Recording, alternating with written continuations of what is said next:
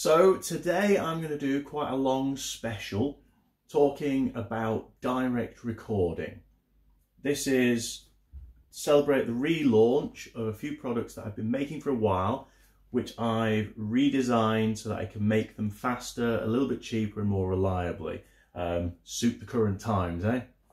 So in our product range at the moment, for recording attenuated amounts, we've got five basic items. We've got the classic Hotbox 120.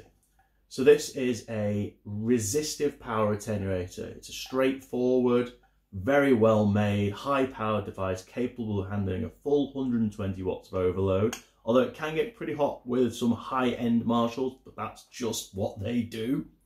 Um, it has a bright, clear kind of quality. And normally the only thing we think of with attenuators, we think we're going to make our 100 watt Marshall sound like a 5 watt Marshall so we can use it in our bedroom. Of course it does that, but it can also be used for recordings I'll show soon.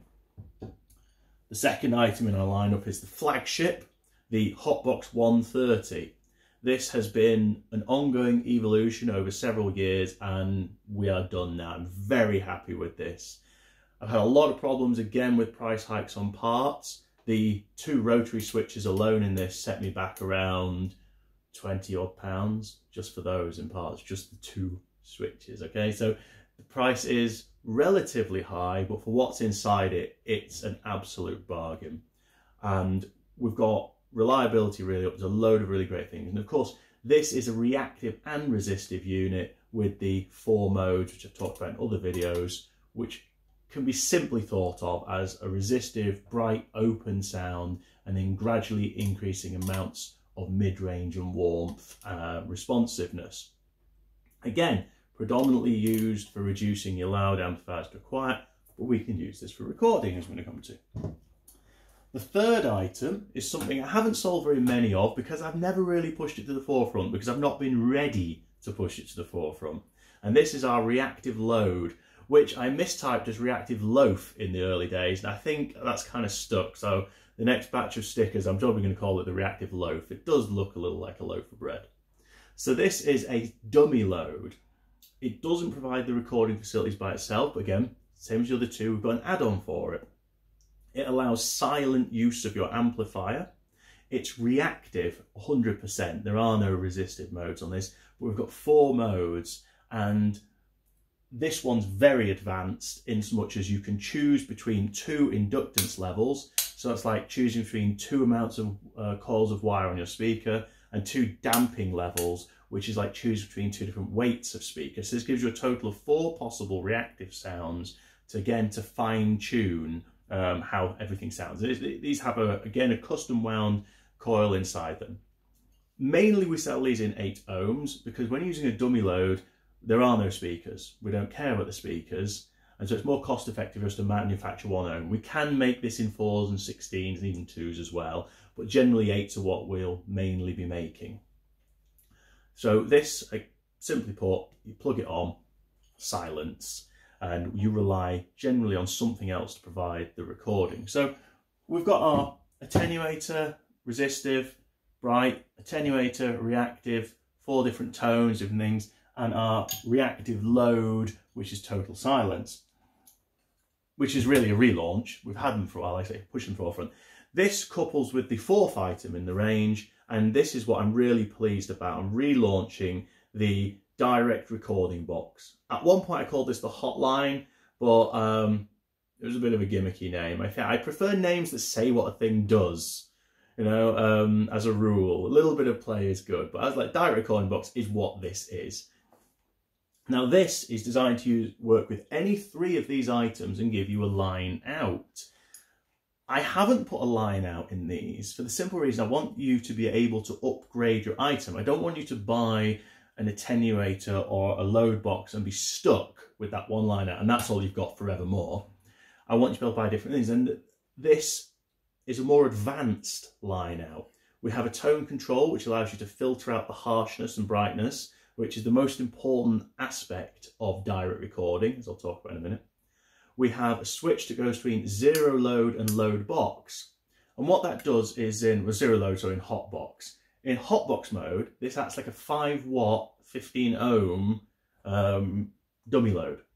So that can work on the output of either of the two attenuators in Hotbox mode, the Hotbox 124 and they see it as a tiny little 5 watt speaker, which is perfect for turning those down and letting everything interact exactly as you want. You can also use it with um, amplifiers of 5 watt or under on its own in Hotbox mode.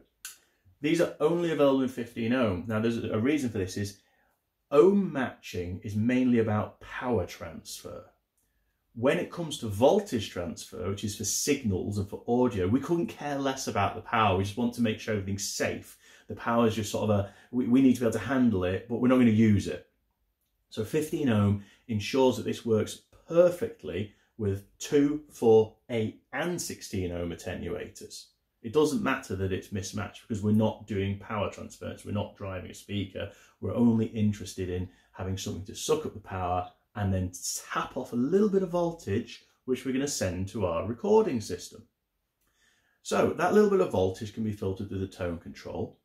It can also um, theoretically clip. So if the voltage goes too high, we don't want this to accidentally send too many volts to your protect to your uh, expensive recording gear. So if your amplifier peaks and you've got something wrong, we don't want to send more than one to two volts to that sensitive gear. It's often running off USB, which is five volts. And there's a thing that happens with electronic equipment. If the input goes higher than the power supply, boom, chips die. We can't have it. So this limits the output to around two volts, no matter what you put in. So if you have your stack at full one, it's putting out hundreds of volts and you set the settings wrong, doesn't matter. This will light up orange and say protected and protect your recording gear. So that's very important. And again, if I put a line out in these, would they have that? Who knows? Probably not. A lot of line outs not going to have protection. So you've got the tone filtering, you've got the protection circuitry. We've also got a ground lift. Now, the thing about noisy ground, which you'll come across with your pedals and you get ground loops, you're always going after your isolated power supplies. It's very, very, very simple, this actually. If you twist a piece of wire into a circle and take a tap off it, you get an AM radio antenna that picks up all AM noise, all the electrical noise in the world, and that's what you're picking up. So with your pedals, you're having, you have an earth that goes from audio in to audio out on two pedals, and then you have an earth that goes from power supply to power supply. So you've created that loop.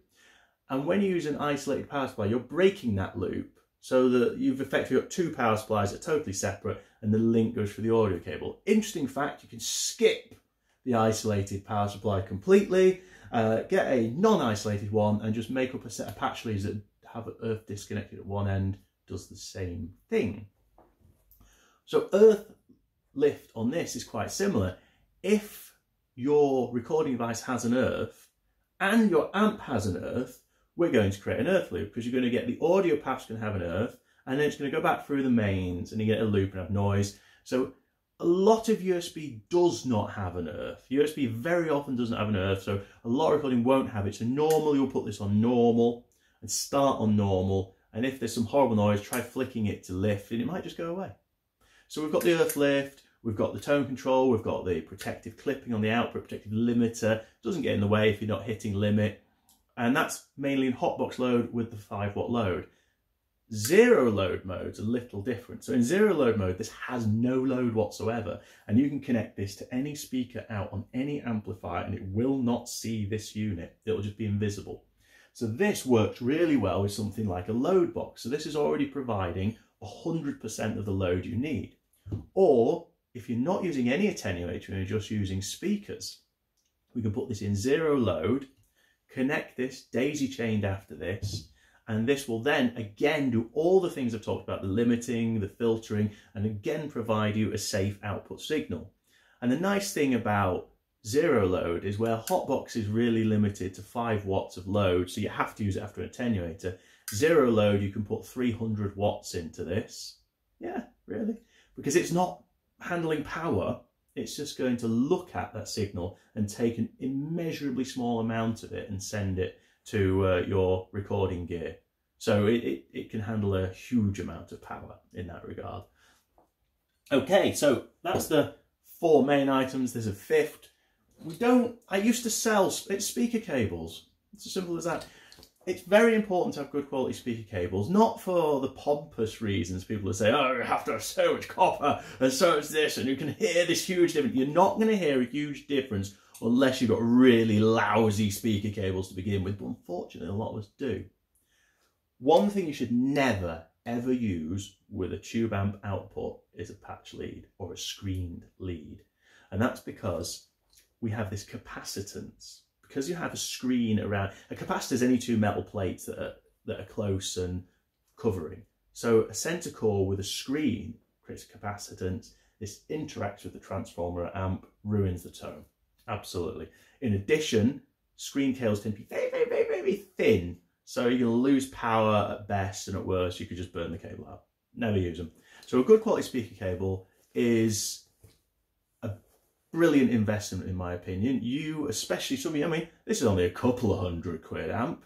Who cares about a couple of hundred quid amp? You know, you're using thousand pound amp, two thousand pound amp. What about your speakers? What about your gear? What's it worth really when you skimp on a speaker cable and spend? I go, oh, I don't want to spend five pound on a cable. I want to spend ten pound. I want to spend this. You're plugging a thousand quid Marshall, two thousand quid vintage amp, Mesa or something and you grumble about 10 quid. So we make these, but sadly I don't sell them separate anymore for the simple reason it's too time consuming. I mainly do these. You can buy cost effective speaker cables off eBay, Amazon, but just, just buy someone else, it's fine.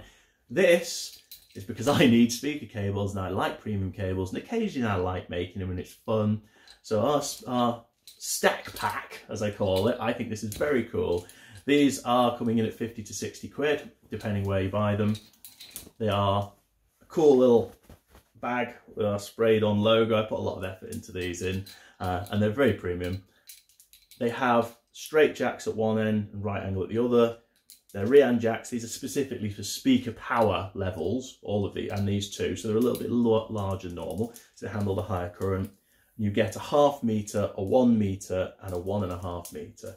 And the reason for that is the half meter, it's, it's what I call a stack pack. The half meter is designed to go from your head to your attenuator and the one meter and the one and a half are just right to go to your two large cabs, a stack pack. So that's our fifth item. Mainly, make sure you've got a good cable. So I'm going to show you how you plug some of this in now.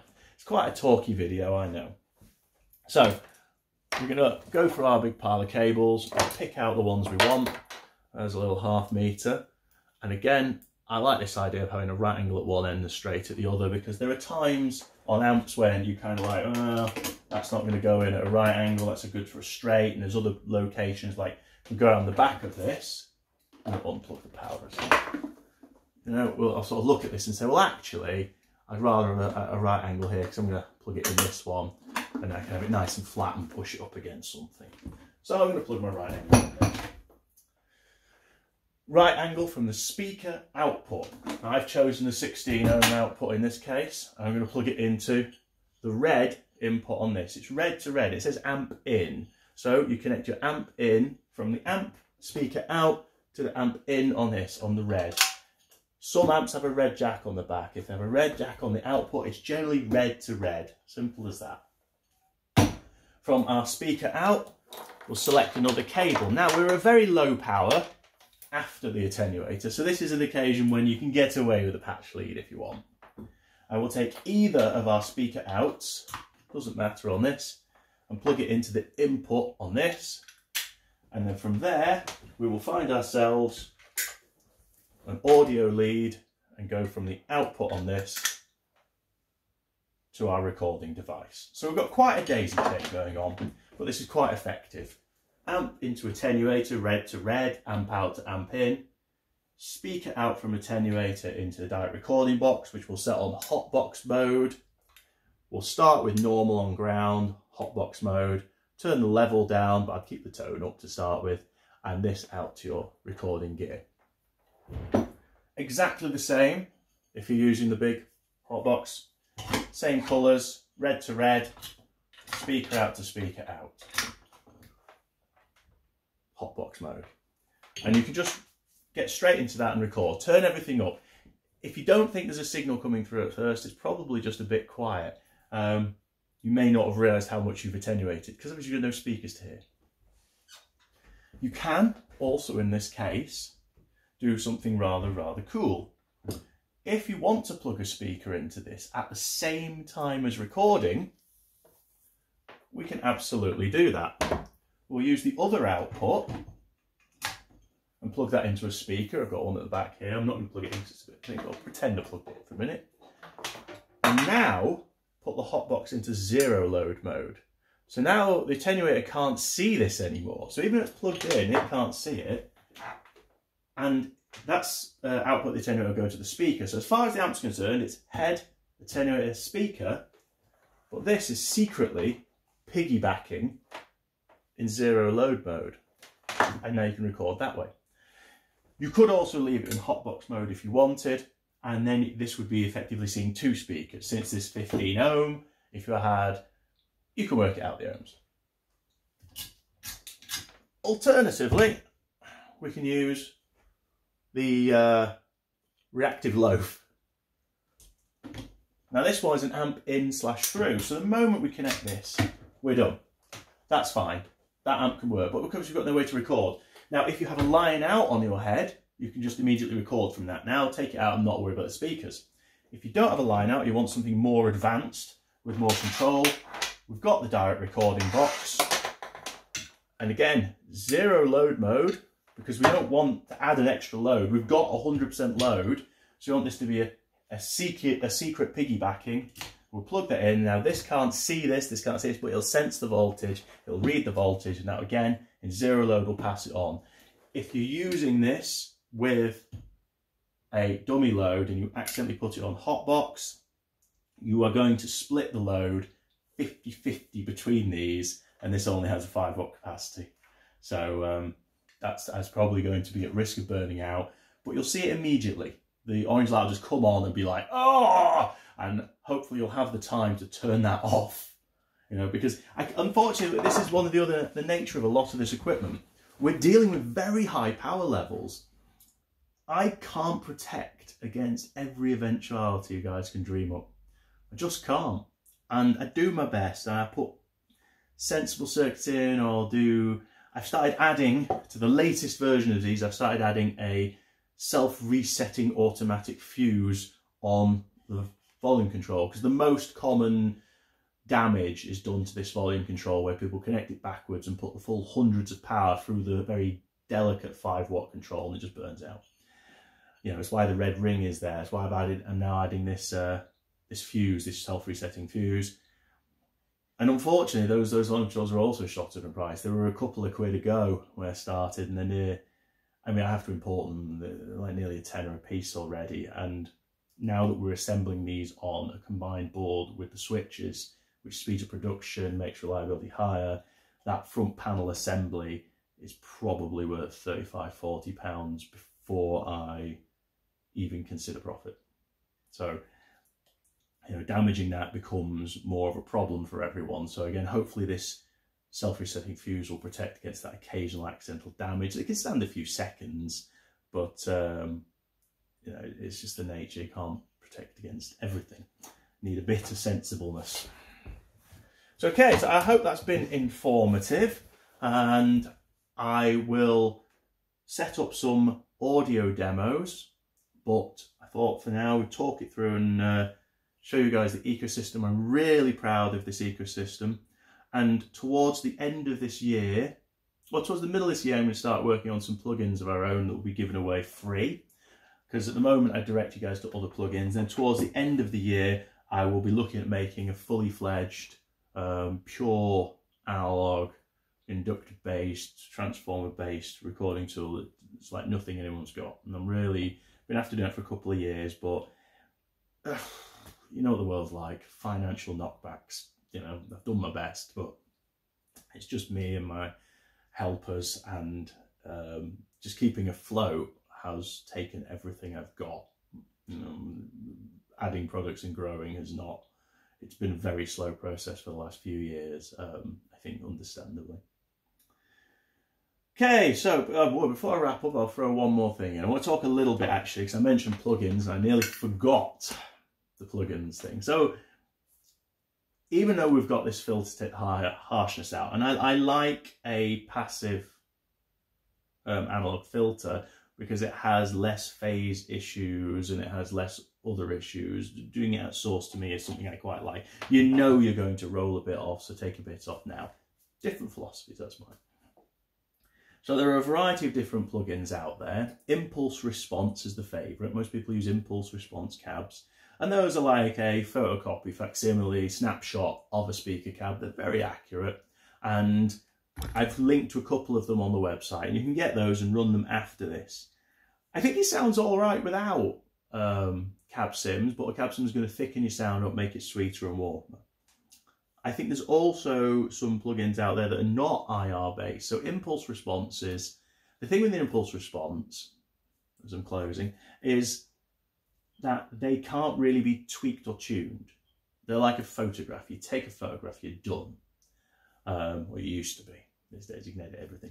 And it's a bit like that with impulse response. To say they're not easy to edit, you get what you get.